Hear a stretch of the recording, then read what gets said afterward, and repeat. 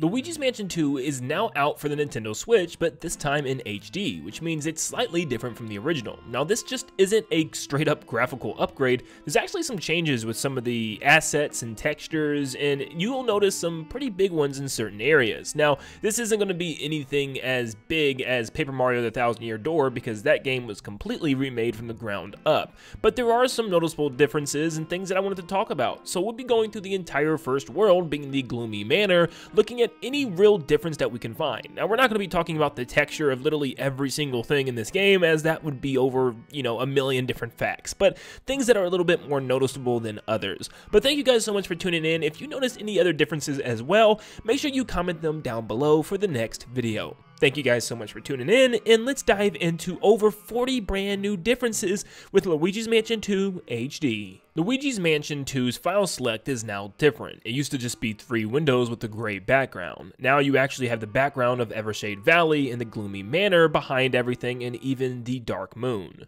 The map of Evershade Valley definitely got an uphaul. You can see with the gloomy manor, it has a lot more detail with bricks and siding and the darker color and tone to it along with the trees around it. The haunted towers look more even in height now and you can even see the bridges in between them that connect and the trees and bushes in the area look a lot different now. The old clockworks, you can now see the building wrap around the entirety of the clock tower and the clock tower got a different redesign as well and it looks just completely different from the original. The secret mine changed the entire ice look of the mountain into an all snow covered mountain, which I actually like the snow cover better than just the sheer ice covering everything. And we can see Treacherous Mansion. It's really far away from here, so it's hard to see all the details right now, but it looks primarily the same. You can see that the water in the area looks a little bit more realistic this time around, with the fog coming up from the giant chasm. And obviously all the trees in the area have a purple hue to them now, if you haven't noticed that already, but yeah, the map had under undergone some pretty drastic changes and overall looks a lot cleaner than I ever would have imagined. In fact, you really wouldn't notice a lot of this stuff if you didn't have these side-by-sides and that's why I wanted to do this because it actually shocked me. There's some pretty good graphical changes here.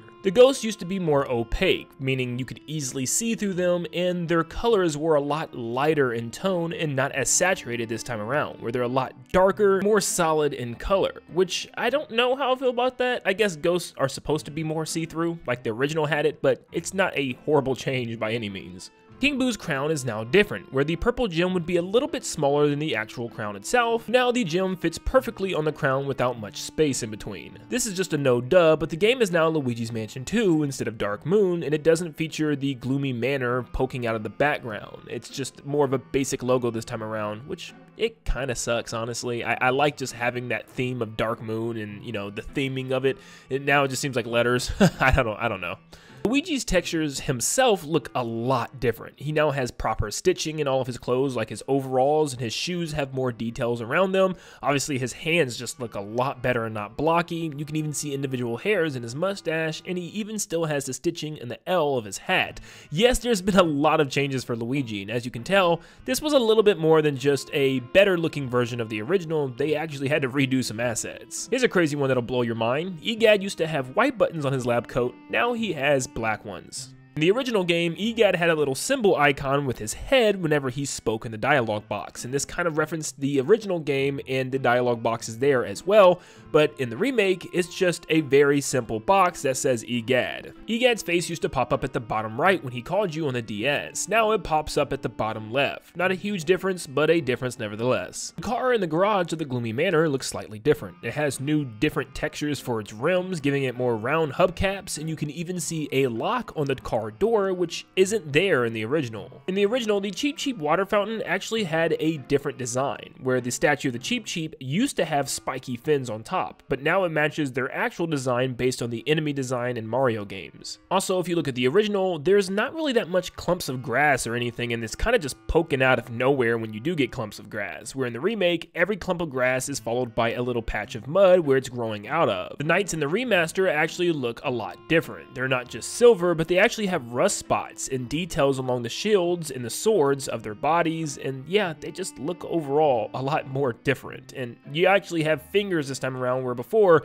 it was just kind of these weird Pac-Man glove things. We also have a new pull animation, where originally Luigi would actually lean back in order to pull something off of a wall, where now he just pulls it, which is a strange change because I actually like the addition of him leaning back. It made it look more realistic, so this one's kind of odd. In the remaster, there's now a little brick wall by the flowers in the garden, kind of showing it like a little garden area. Some bottles and containers actually have labels on them now, making it a little bit more realistic. Both games keep the same blocky, polygonal looking bush design, but the new version has more leaf details as it has pieces of leaves hanging out, making it look more like a bush and less like a solid object. When you get into the foyer dining room looking area with the carpet, you'll notice that the tiles used to be gray, but now they're red, and you'll see a similar theming throughout the rest of this mansion. Something else you'll notice is that now in the remake, it's a lot more noticeable to see a giant bump under the rug, which is hiding a secret switch. It's a lot more noticeable now in the remake. Also, I know I've probably been switching back and forth saying remaster and remake, so for clarification purposes, I'm just gonna always call it a remake from here on out. It makes it a lot easier. The fish tank used to just be this clear glass with fish swimming around, you could easily see everything through it, and it really didn't look like there was water in there, where this time it actually looks like a real fish tank tank, and you can even see the water detail.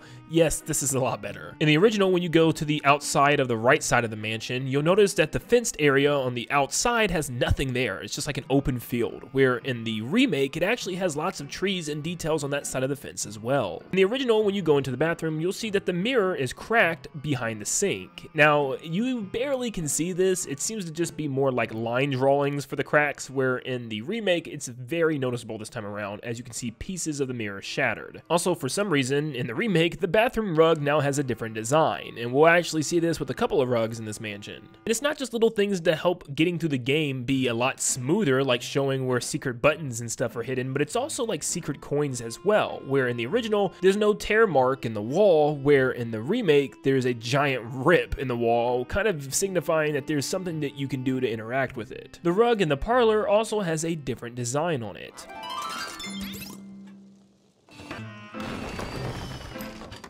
The web design is now completely changed, where they used to be thicker with the line design and actually look more papery, kind of like Paper Mario Sticker Star's webs, and maybe they were kind of used as inspiration since they both were 3DS games, but now they look more web-like and not as thick and papery line design. In the bedroom, you'll see some changing boards in the back right where you can't really make out what the design is on it, but in the remake, it looks even more detailed, showing it's like some type of grassy field that was painted on there. In the original, the rugs were always flat with the ground, and you can see in the bedroom, that goes for this one too, where in the remake, it actually goes over a floor beam, kind of giving it a rugged look, which is really, you know, a lot more realistic this time around. And I'll only bring this one up once, but there are a lot of little tears and rips in the wallpaper in specific rooms on the wall, as you can see here in the remake. When you reach the study, the floor tiles used to always be gray or tan colored, where now they're all red, once again matching that overall red theme of the mansion. Now, this one could just be a color saturation thing with the new kind of colorway of this game with the remaster or remake or whatever you call it, but uh, it's hard to tell. It definitely looks different though. When you get to the studio, you'll also notice sometimes the carpet doesn't even have to go over a specific piece of the floor to be rugged or have a bump in the carpet's design. Where you can see in the remake, it just has a little fold area, giving it more detail. In the original, the gears have more of a texture design to them,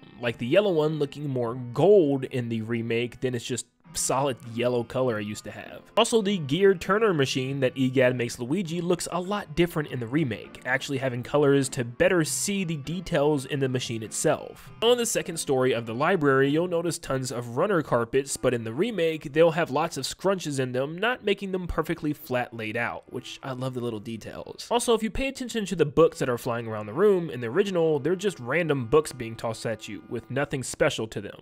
But in the remake, you'll actually notice notice that the books have covers to them. When you go down into the kitchen, everything pretty much stays the same, but for some reason the refrigerator got an uphaul and actually has a new little neat design around it. In the original, there's a giant compass star on the floor of the library, and it's kind of just weaved into the wooding, so it's kind of hard to notice where in the remake it's a lot more noticeable as it pops out of the wooding a little bit more. It seems to be more carved into the wood floor instead of drawn. Boo's facial expressions are a little bit different in the remake, where in the original, his eyebrows would actually float above his eyes, giving him more of a goofy look, In the remake, they just completely removed that and connected his eyes to his eyebrows, and he looks more like a regular Boo this time around, and I don't know, it takes a little bit away from his goofiness. I kinda like that original face. The knights laying on the floor in the attic are laid down in a slightly different way, and it's more clear how they look. It was a little sloppy looking in the original. There's a spot in the attic where you can actually see the outside of the mansion's walls, and it looks a little bit more detailed in the remake, showing the shingles individually placed on the roofing on top of the mansion. Any instance of plumbing in this game seems to be changed in general, because whenever you see a pipe, they actually added some detail to them, as the pipe above the elevator door to go down to the final boss of this area is a lot different in the remake, adding more detail and more pipe rings along the tubing. Finally, you'll notice some little changes in the basement when it comes to the wood pallets and the beams everywhere, as they're kind of just not attached and they're just kind of piece by piece, where in the remake you can see where they're actually broken apart. But that was 40 plus changes from the original version of Luigi's Mansion 2 to the brand new version with Luigi's Mansion 2 HD. Let me know in the comments down below if I missed any other small little details and if you enjoy these videos or not. Of course, they're not anything super drastic, but it is enough to really appreciate the fact that they at least did make some changes to the graphics. Thankfully, some assets were just remade or cleaned up a lot better. But let me know what you think down below. Make sure you leave a like and subscribe before you head out to really let me know if you want to see another one like this. And like always, I'll see you all in the next one. See you guys.